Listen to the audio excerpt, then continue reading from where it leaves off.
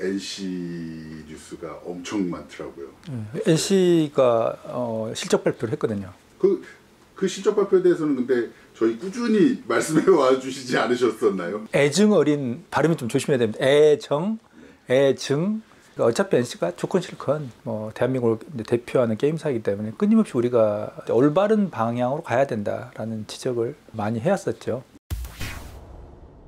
김택진 대표 이제 부인이 윤송이 씨가 NC웨스트 대표이사고 동생이 김택헌 어, 수석 부사장이 CEO로 NC에 지금 어, 사업부를 책임지고 있고 이러기 때문에 그런 구조 어, 바람직하지 않다. 예를 들면 삼성 같은 경우 한번 생각을 해보세요. 네. 삼성전자의 뭐 회장 어, 이재용, 부회장 어, 이부진, 삼성 아메리카 대표 어, 이서현 뭐 이렇게 하면 과연 국민들이 과연 납득을 할 건지. 그러니까 경영을 잘했다. 이것만으로는 절대 용납되지 않아요. 예를 들면 지금 그 문제가 되고 있는 게임법이라는 게 있거든요. 게임법에서 가장 지금 문제가 되고 있는 조항이 뭐냐면 확률형 아이템 정보 공개를 어, 허위로 했을 경우에 징역 2년 2천만 원 이하 벌금 가장 핵심 쟁점이 그거예요. 회사의 대표가 어, 징역형에 처해질 수 있다. 기업의 대관이라든지 홍보팀에 있어서는 어떤 경우에도 그 조항을 덜어내야 되는 거죠. 그냥 정정당당하게 하면 수익이 안 나는 건가요? 그러니까 그 PD님이나 저는 이렇게 사는 거예요. 어, 이렇게 항상 그 뭐랄까 우리는 소박하게 좋은 말로 합시다. 우리는 소박하고 인간답게 기업이라든지 게임이라든지 서비스에 대한 지적을 할 때는 상대적으로 기업들이 크게 개의치 않고 들어요. 근데 창업자에 대한 부분이 확 들어가면 바로 거기에 대해서 방어를 하려고 그래요. 저는 그건 잘못됐다고 보는 거예요. 그러니까 기업의 본질, 기업이 과연 무엇일까라는 이 가끔 보면 이제 IT 그 대기업들이 보면 ESG를 무슨 그, 그 뭐냐 이 조미료 보듯이 치듯이 무슨 이렇게 뭐 기업 경영 조미료 치듯이 보는데 기본적으로 ESG 정신이 뭐냐면 기업이 뭔지를 한번 생각해 보라는 거예요. 전 세계적으로 기업이 사회적 도구로서의 기업이라는 인식이 점점 더 강해지고 있는 거죠. 왜 우리나라는 지금 IT 기업에 대한 것들이 이렇게 좀 방향이 이렇게 돼 버렸냐면 우리나라는 어 사실 정경유착이라는 그 원죄를 IT 재벌들은 가지고 있지 않아요. 예를 들면 이 사람들이 정치자금 갖다 바친 적도 없고요. 예를 들면 산업을 불화받은 적도 없어요. 이러니까 자기들은 당당한 거예요. 그러니까 사회적으로 뭘 해야 될까에 대한 생각은 거의 20년 동안 없는 거예요. 이제는 사회적으로 그런 것들이 강한 압력이 들어오니까 이제는 방어하기 위해서 거기에 대한 대응을 하는 거지 그 이상도 이하도 아니에요. 그래서 그런 점에 있어서의 아쉬움이 참 큰 거죠. 어, NC 그 헤드라인이 그래요. 작년 영업이익 반토막. 이건 또 이제 이렇게 되면 이제 또 PD님 좋아하는 주식 이야기로 네. 다시 또쫙 돌아가서 네. 제가 가지고 있는 저는 이제 이 NC 주총 가게에서 NC 주식을 샀는데 거의 지금 절반이에요. 절반. 그러니까 주총 갔다가 그 시 팔았어야 되는데 하, 분해서 네. 한 두 주 더 샀어요. 네. 그러니까 지금 손실이 더 커졌어요. 2020년, 21년 같은 그런 어, 정말 호황기는 안 온다니까요. 어, 국가 권력이 환경을 만들어준 거예요. 사람들에게 강제로 게임하게 만들어준 거예요. 그리고 게임하는 걸 묵시적으로 권장했고요. 왜? 사람들이 극도의 스트레스를 받고 있었거든요. 못 나가니까. 네. 근데 그런 시절이 안 온다니까요. 근데 그래서 제가 이야기했던 게 뭐냐면 2020년, 21년에 빨리 번 돈 갖고 투자하세요. 빨리빨리 투자하세요. 근데 2020년에 만약에 제대로 투자를 했으면 이제는 게임이 뭔가가 나와야 되는 거예요. 모바일 게임 같은 경우는 뭔가가 프로토타입이라도 나오고 안 나오잖아요. 이번에 NC가 신규 IP 다섯 종을 공개했어요. MMORPG, 그다음에 interactive movie, 액션 battle royale, 수집형 RPG 등 다양한 장르. 근데 솔직히 잘 모르겠어요, 저도. 이게 MMORPG는 음, 뭔지 알겠어요. Interactive movie? 뭐지? 액션 battle royale? 뭐지? Battle royale은 크래프톤이 잘하는 건데. 그 다음에 수집형 RPG 어, 이건 넥슨 전 넥슨이 아주 아주 왕자인데. NC요? 예전에 캐주얼 게임 하려다가 잘 안 됐고요. 고포류 하다가 잘 안 됐고요. 고, 고스톱 포커. 아 그 상상도 못 하시죠? 지금 RPG의 명가 NC소프트가 고스톱 포커를 만들어서 하다가 사업이 안 돼서 접었답니다. 자기가 가지고 있는 핵심 역량이 다 다른 거예요. 그러면 다시 돌아서 이어 봅시다. 다섯 개의 IP를 준비 중이라는 거예요. 준비 중. 개발 단계부터 그럼 개발 안 하고 있다는 지금 기획 단계예요. 그럼 1년 반 동안 뭐 하고 된다는 거예요. 이용자들과 다양한 형태로 소통하고 피드백을 반영할 계획이다. 적극적으로 수용해봐야 처음에 기획 단계에서 배가 산으로 가지. 왜냐하면 유저들이 자기 취향에 따라 전부 이야기 다르거든요. 이거 단일 IP 리스크예요. 그걸 벗어나기 위해서 무던히 노력은 하고 있는데 지금 1년 반 동안 뭐 하셨나요? 음, 지금 좀 다섯 종의 프로토타입을 딱 보여주거나 아니면 개발 기간 1년 반을 잡고 있으면 개발이 어디까지 와 있다 이런 걸 이야기하는데 이제 뭐냐면 개발하겠다는 기획하겠다 이제 기획 단계예요.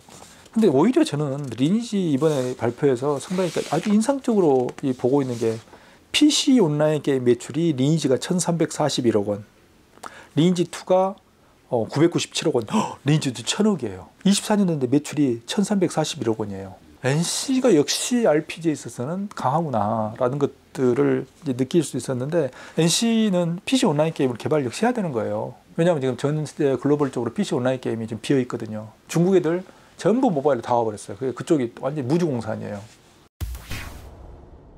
지역 매출을 보면 역시 한국이에요. 한국이 1조 5,700억. 그다음에 북미 유럽 1,143억. 북미 유럽 거의 뭐 그냥 그 딸랑 꼬리 뭐 쥐꼬리만큼 있는 거예요. 결국 국내 매출을 먹고 사는.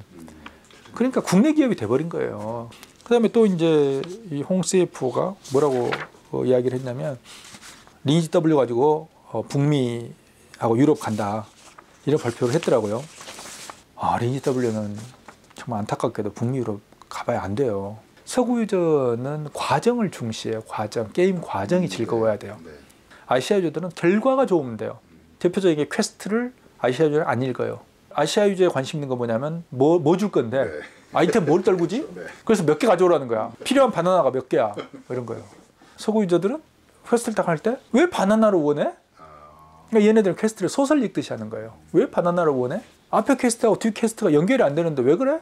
그리고 GM한테 질문을 해요. 그것도 장문의 메일로. GM은 머리 그냥 돌아가시는 거예요.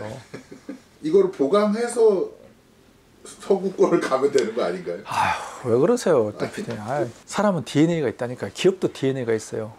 결국 리니지 W는 결국은 아시아형 게임이에요. 그래서 리니지 W의 주요 매출과 성공도 결국은 한국이잖아요. 결국 리니지 W가 성공을 해서 아주 아주 역대 최고 매출을 올렸대요. 네. 구조가 어떻게 됐느냐는 이야기를 안 해요. 아시아 전체 전체 토탈 매출 뭐 아시아가 4,470억, 뭐 북미 유럽이 1,143억. 근데 아시아 유저가 도대체 어디지? 어느 나라에서 얼만큼 나왔지? 제가 관심 있는 거 이런 데이터거든요. 아시아 쪽 일본이 얼마나 나왔지? 어, 아시아에서도 리니지 W가 어느 정도 수준일까라는 것들이 결국에는 공개를 안 하는 거예요. 그래서 이게 뭐 사상 최고의 매출, 뭐 사상 최고의 실적이라고 이야기하는데 돌고 돌아 한국 게임 아시아 쪽 그런 안타까움이 좀 있습니다. 그 다음에 또 보면 이번에 P2E 개념이 아니라 NFT 개념을 하겠다. P2E 개념을 NFT하고 블록체인 개념을 혼동하는 현상이 굉장히 심한 것 같다. 와, 공부하셨더라고요. 훌륭한, 훌륭한 분입니다. 근데 결국은 뭐라고 이야기하냐면, 어, 재화의 가치 안정성을 흔드는 NFT 도입은 처음부터 생각하고 있지 않았다라고 강조했다. 근데 이 양반이 여기서 이야기하는 NFT는 P2E거든요. 그 기자가 잘못 쓴 거 아닐까요? 말이 안 되는데 네. 그렇죠. 네네. 아, 역시 탁월하십니다. 아, 훌륭하십니다. 아, 훌륭하십니다. 여기서 이, 아우, 정말. 훌륭하십니다. 선생님이 대화를 하다 보니 제가 예. P2E는 하지 않겠다. NFT는 도입하겠다. 숨겨져 있는 그 워딩이 뭐냐면요. 코인은 새로 안 만들겠다. 음, 코인하고 환전은 하지 않겠다. 그럼 결국 뭐냐면 지금 이제 다이아를 돈 주고 사야 되잖아요. 네. 코인은 아니에요, 이건. 그러니까 P2E는 아니라고 보는 거예요. 어떤 구조가냐면 거래소가 있어요. 게임 내 화폐는 아데나. 돈으로 살 수 있는 것은 거의 그 뭐냐 다이아. 이게 다 있는 거예요.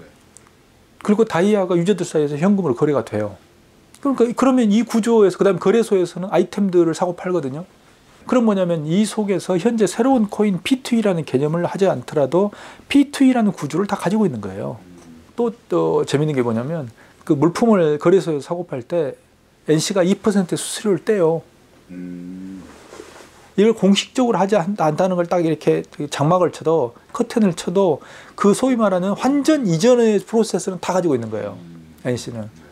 그래서 집행금 NFT 붙인다는 거예요. NFT 붙여버리면 그게 또 어떤 게 있냐면요. 어떻게 거래가 되고 있는지 회사가 전부 들여다볼 수 있어요. 얼마에 어떻게 팔렸다. 누가 가지고 있다. 현재. 회사가 전부 그 경제 시스템을 다 제어할 수 있는 이런 구조로 가지게 되는 거예요. NFT를 붙이는 데 있어서 이번에 이제 이분이 홍 CFO가 어, 강구하고 있는 게 있어요. 아이템 소유권. 이 소유권 이야기를 다 빠뜨리고 있어요. 저작권은 NC에 있을 수 있어요. 또는 저작권하고 소유권 두 개를 다 유저에게 줄 수도 있어요. 네. 자 이거 어떻게 할 거냐는 거예요. 원래 NFT라는 개념이면 다 넘어가는 게 맞는 거잖아요. 예. 저작권 강아지. 예를 들면 그림을 생각하면 돼요. 미술품은 그쵸. 저작권은 넘어가지 않아요. 네, 네, 네. 그래서 그 미술품을 쪼개 팔거나 이게 안 돼요. 네, 저- 권리를 쪼개 파는 거예요. 소유권을 쪼개 아, 파는 거예요. 네. 어, 네네네. 예, 그런 개념이에요. 근데 그 부분이 지금 상당히 향후에 논, 이슈가 될 거다. 논란이 될 거다. NC 같은 경우는 지금 어, 약관에 이용권만을 가지고 있다고 지금 주장하고 있거든요. 뭐 저작권, 소유권 다 모든 것들을 NC가 가지고 있는 거예요. 근데 NFT를 붙이는 순간 어, 저작권과 소유 분리된 소유권을 어, 구매자에게 넘긴다는 걸 의미하고 있어요. 서버를 달 때 어떻게 할까요? 그런 부분들은 이제 법적으로 아마 네. 원래는 네. NFT를 하면 이게 서버를 닫아도 어딘가에 얘한테 남거나. 그게 네. NFT인 네. 거잖아요. 예. 그걸 이제 어떻게 남겨둘 거냐부터 시작해서 리니지 M에서 쓰던 걸 리니지 2M에서 쓸수 있어야 된다라든지 네, 네. 그런 이슈들이 이제 발생하기 시작하는 거예요. 어, NFT, 뭐 P2E 이런 논란을 어, 뭐 벗어나서 우리가 생각을 해보면 무지하게 노력하고 있는데 리니지 W가 어, 어쨌든 서구 시장에서 참 어려, 어려울 거다, 잘 안 될 거다. 또 그러면 리니지 W 나왔습니다. 그다음 그다음 뭘까요? 리니지 그다음에 X가 나와야 되나요? 다양한 장르를 이제 공략을 해보는 거예요. 그러니까 이제는 급한 거예요, 마음이. 그러면 자 어떻게 될 건가? 이런 이슈가 있는 거예요.